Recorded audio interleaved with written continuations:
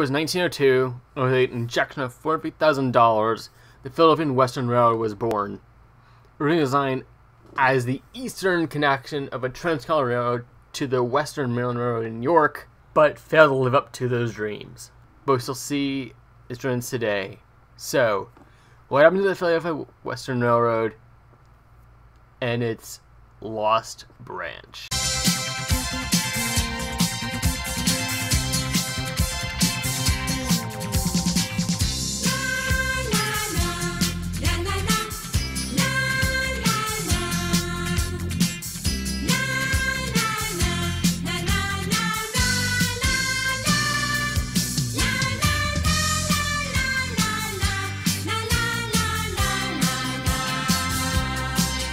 Originally owned by the Sheldon Syndicate of New York, it took them five years from that initial 450k to opening day. By that time up, they'd already fallen over a million in loans. They were able to quickly reorganize. None of the pet stores there back in the day, possibly. Still there, yeah, probably.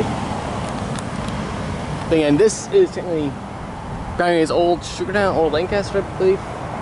So it makes sense that the trolley would go from here and turn out and past a church just up the way. Is probably there.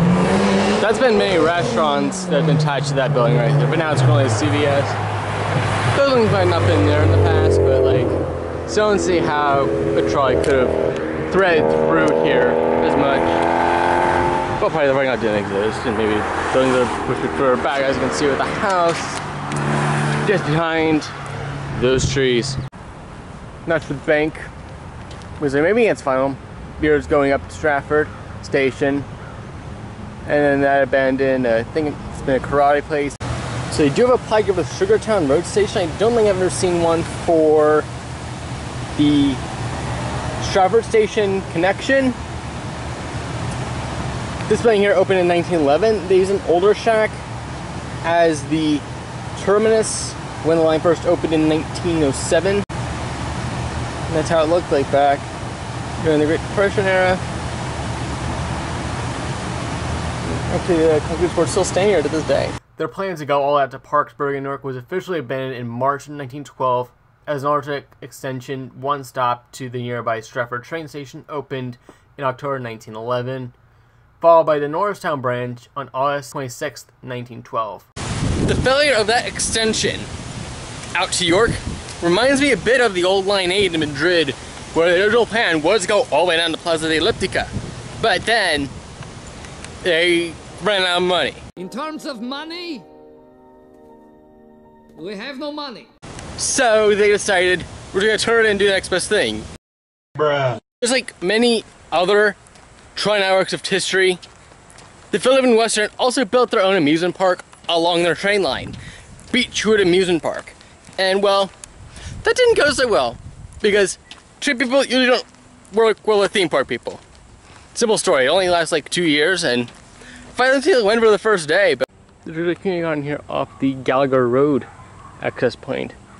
I'm guessing there was a station here too not too long ago, but again, it's kind of close. I think Strawberry was originally here, but then they moved it slightly for the new building that we saw earlier, and they extended one stop further to Strafford. Two more tidbits in one. So there are restrooms here at the Friends of Radnor Trail Park. They're currently closed at the moment, but uh, see about the, uh, if that's on.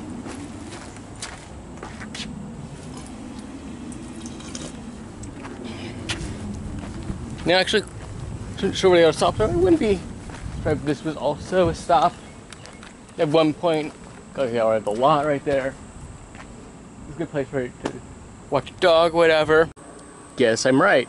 Well, the West Wayne sign has seen better days. I end up turning back after stopping off at the Wayne Art Center, which is not even a mile down the trail. But from my house all the way to that point, I've probably clocked number two miles on this walk.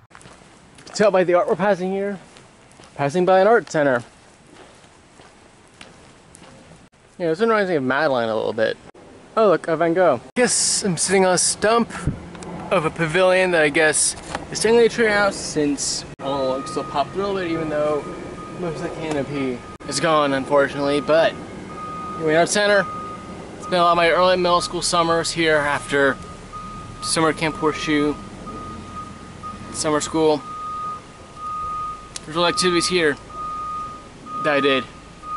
Performing arts, cooking, you know, all the drawings and stuff over on the wall behind me. Was in there. They lived in Kyoto that would change my life forever and I'd come to regret it. But you know what? I'll save that story for another time. As I head back, I notice more down trees. Maybe I'll complete the whole trail someday. Somehow. I don't know. As for the Charlotte Branch, that part of the Norristown High Speed Line we know today ended up merging with the Red Arrow Lines in 1954. In 1956, the Red Arrow Line suspended the Strafford Branch, and eventually, what we know as the Red Arrow Lines, the Norristown High Speed Line and the 101 and 102 joined SEPTA in 1970. Finally, in June 2004, the PNW Trail was established and opened in January 2005. Next video, we're doing a lot more first with riding the trolley buses and the quote-unquote metro system of Philadelphia, a bunch of other transit crunchers like uh, Miles and Jackson, Miles and Transit, Classy Whale, Jared Cohen, and more.